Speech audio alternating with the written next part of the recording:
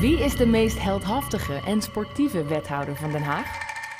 Ongetwijfeld Marnix Noorder, die vandaag 130 meter abzeilde vanaf de nieuwe woontoren De Kroon.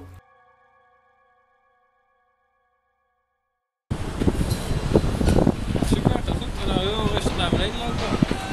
Maar hoe gaat het verder op? Het, eh, Ja, de eerste eh, tot aan de volgende pijp. ja. Dan kunt u gewoon lopen en dan hangt de hemel gewoon vrij. Dan kunt u Oh. ook nergens tegenaan stoten. Oh, dat had ik wel even willen weten eigenlijk. Maar het is eigenlijk alleen maar prettiger en veiliger. Ja.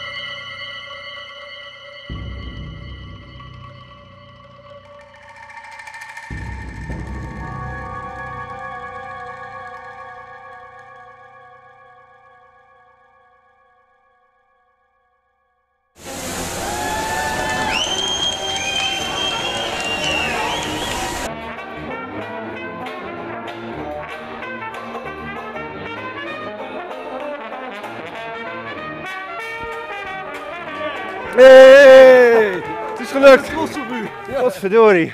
Leven aan u voorbij. Ja, nee, nou, het is zwaar man. Zo, ik krijg wel weer respect voor die mannen die dat doen. En eh, ik zit, dat viel me mee. Ik had, ja, nou, ik zit- ik denk wel gelijk aan die eh, mannen die dat een glazen wassen en zo. Die staan er, god, dag op die hoogte zeg. Ook met weer en wind. Nou ja, het is natuurlijk eh, gewoon eh, het hoogste woongebouw van Den Haag. En je kunt hier prachtig wonen. Het is eh, ja, wonen op, eh, op stand, op stijl hè. 140 meter hoog wonen, wat doe je dat nou? Je hebt de, de stad aan je voeten natuurlijk. Nou, dat wil ik eens even laten zien, hoe, hoe mooi je hier kunt wonen. Ja. Je kunt hier in de Phoenixwijken wonen, je kunt in het Staatkwartier eh, wonen, maar je kunt ook midden in de stad, vlak bij het openbaar vervoer, bij het station, bij de snelweg, het centrum, Binnenhof, eh eh, eh, Haagse Hout, je hebt hier alles. Het uitzicht is geweldig, echt. Je kijkt natuurlijk over heel Den Haag, tot en met de zee. Ja, Leiden zie je door de mist heen liggen, zeg maar. Schitterend, ja.